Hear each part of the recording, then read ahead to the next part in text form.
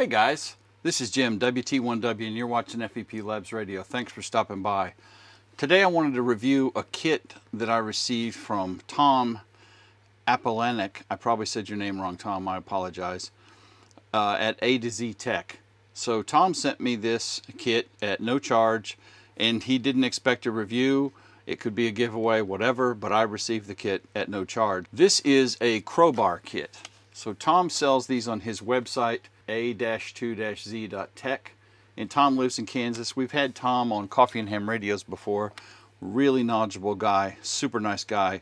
Highly recommend his gear. He did a great review on fuses, and you think fuses are kind of boring. Tom showed that not all fuses are created equal. Today I want to take a look at what Tom calls the mini bar full kit. And this is available on his website at A to Z Tech. So included in the kit, this is almost sort of kind of an unboxing. Almost. I've had it open already. So we get the circuit board and Tom has these boards pre-made and filled in with all the surface mount components and you can see the board here. There's a little bit of soldering we're going to have to do and there are some surface mount components as well as an SCR, silicon controlled resistor here. And what this is is a crowbar circuit. So a crowbar circuit, if you've never heard that term, is really exactly what it sounds like. If the voltage goes too high on a given power input, the crowbar falls across the circuit, causes a dead short, removing power from whatever load is being powered by that circuit. In, in higher end power supplies, like an Astron for example, there's a resettable crowbar circuit in there if the crowbar triggers at 16 volts, for example, in an Astron power supply, the output power drops to zero, and the only way to reset it is to turn the power supply back off and on again. Tom's kit uses a standard automotive style fuse, but we're going to put the kit together and take a look at it, and if I can find a fuse, we'll do some demos. So Tom's kit is designed to cut off at 15 volts DC. It has with it the actual fuse holder that goes mounts to the board. It has a cover for the top and bottom of this with a hole to allow our our fuse to come out, the mounting hardware to connect the two plastic pieces of the, the case together, an automotive fuse holder. This is for those standard blade style fuses. And then some pre-configured uh, board mount power poles. And we'll talk about these right now. You'll see that the board is marked in and out, positive and negative. So when you put this kit together, this is the wrong way. This one goes on this side. So our positives line up like so. And I still, yeah, I got that right. So that's how this is going to go. The fuse holder mounts here. And this is keyed on the actual fuse holder to match the board so you can't put this in the wrong way. That goes like that and then we solder the whole thing together. Now Tom has the circuitry in here to detect the voltage uh, over 15 volts as I said and he also has circuitry in here to protect this against possibly um, tripping the fuse in case of a power spike. Tom rates this board at 15 amps of continuous duty. You can have up to a 30 amp fuse in there. The board can handle 30 amps, but based on Tom's instructions in the user guide, which is online on his website, if you're going to run above 15 amps, it needs to be about a 50% duty cycle. So that's it. It's a pretty simple thing, and the way this is designed, that's going to go on there like that.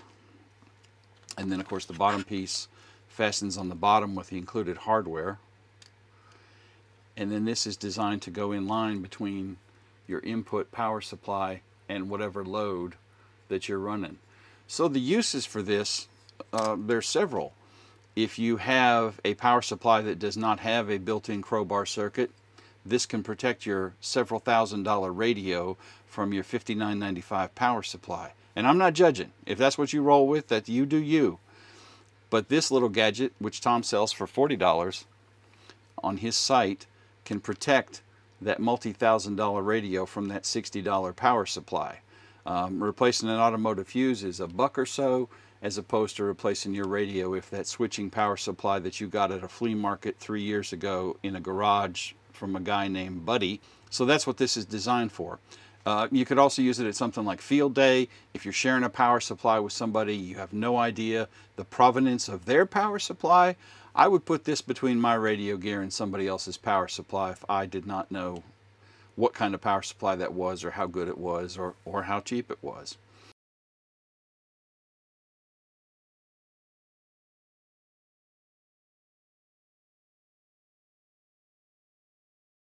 We've got it assembled and that is the finished product. Okay, so I've got our test rig set up here. I did find some automotive fuses. This is a 3 amp. We're not going to try and pull a load and pop a fuse. What this is designed to do is to cut out at 15 volts. I misspoke earlier. This will not necessarily pop the fuse, but when the SCR goes above 15 volts, this will disconnect the electricity. The fuse is overcurrent protection as well because if the voltage goes up and you have a load, you're very likely going to pull too much current anyway. But for what we're going to do today, we just want I want to demo the SCR cutting off. Our power supply is set to 13 and a half volts. Yes, I know they're both red wires. It's from a test rig earlier. So we have our voltage here. You see the green light that indicates our crowbar is operational. And so we're going to turn up the voltage to 14 and a half and everything is still working just great. You can see the meter. Now, as soon as I turn the uh, voltage up and it passes 15, the SCR should cut in and the circuit should cut off. And it did. Low voltage. My power supply went down to 1 volt at this point. and so if I reset this power supply to a lower voltage and turn it back on, you can see we have 13.4 volts again. And as I turn up the voltage on the power supply to 14.5, circuit's still working. You can see the green light. And as soon as we pass 15, boom, the SCR kicks in and the power goes out. And obviously if we overcurrented because of too heavy of a load at that voltage, the fuse would blow as well. So this has got double protection, the SCR and a fuse. That's it. Guys, I know this is kind of a sketchy looking setup, but that seemed to be the best way to demonstrate what this thing is doing.